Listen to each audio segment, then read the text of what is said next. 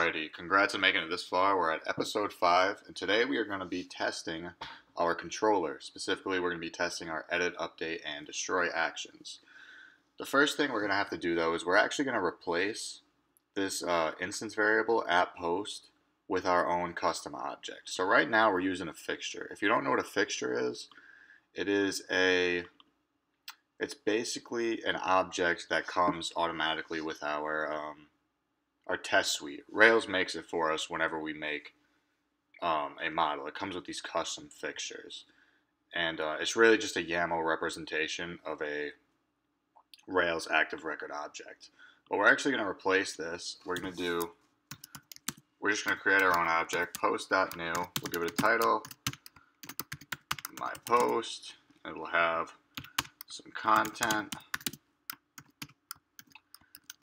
Subscribe to the Corey's Corner podcast.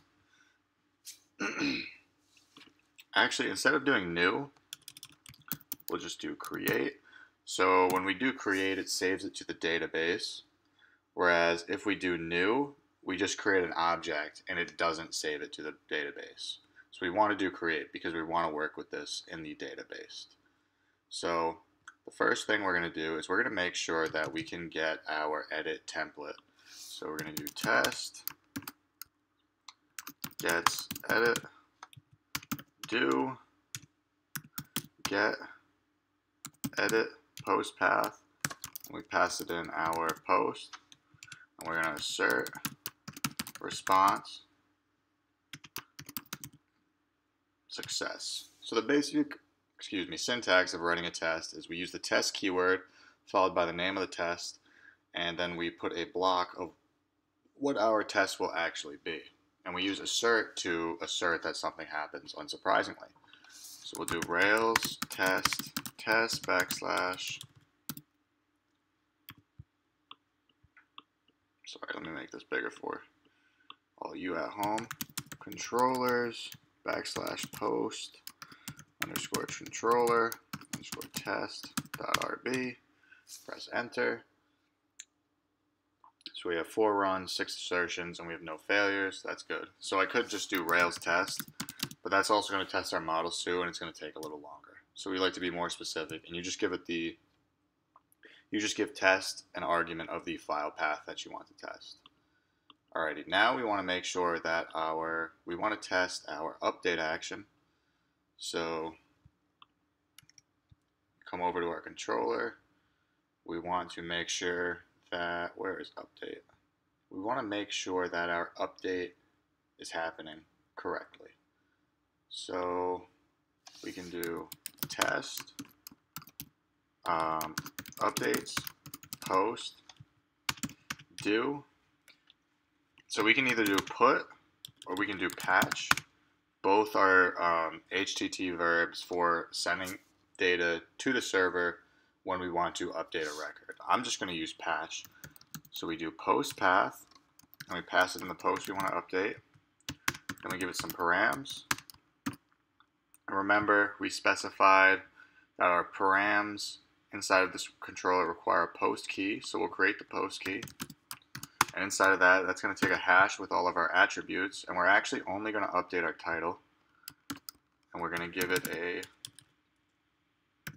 title of a new post title. And then we want to assert that we get redirected back to our post path of the post we updated and I will test that again. See that our tests are green. We have five runs, eight assertions, zero failures. And now lastly, we want to make sure that our post can be destroyed. So we'll have destroy post do, and now you use the delete HTTP HTTP HTTP verb. I'm sorry, post path. Pass it in a post. And then we want to, oh, actually, that is not what we want to do. We want to do assert difference. We do post.count, and we give that an additional argument of minus 1, so we want our post count to go down by 1. And then we use the delete HTTP verb. We send that to the post path with the post we want to delete. And then after we do that, we want to assert, we get redirected to the post index path. I will test that one more time.